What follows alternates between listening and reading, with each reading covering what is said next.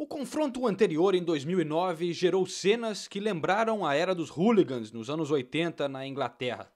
Neste sábado, no The Den, um capítulo diferente na história violenta desse clássico.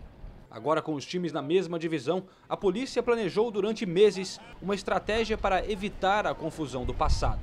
Nas redondezas do estádio do Millwall, em um bairro pobre no sul de Londres, a tensão evidente em cada esquina. Uma das torcidas mais violentas do país aguardava os rivais do leste da cidade com mais intenções. Este torcedor prometeu vingança após o último confronto entre as torcidas. Vai ser feio, muito feio. Nós nos detestamos. É inevitável que alguma coisa vai acontecer. Mas apesar de todo o ódio entre as torcidas, quem levou o melhor neste confronto foi a polícia, que conseguiu controlar uma situação potencialmente explosiva. Esta grade e várias linhas de polícia mantiveram distância entre as torcidas. Cerca de mil policiais, um para cada 16 torcedores, fizeram parte de uma operação que separou completamente os rivais.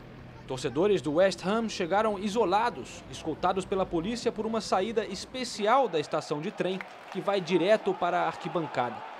Com essa reforma em Millwall, só é possível ver a torcida rival dentro do estádio.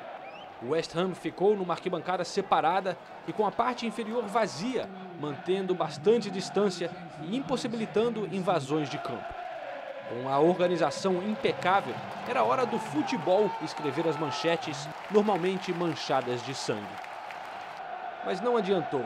O jogo não foi dos melhores.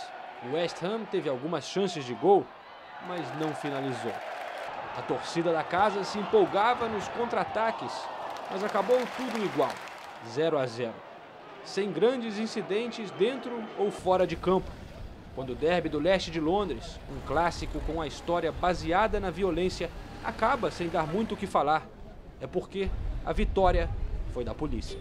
Police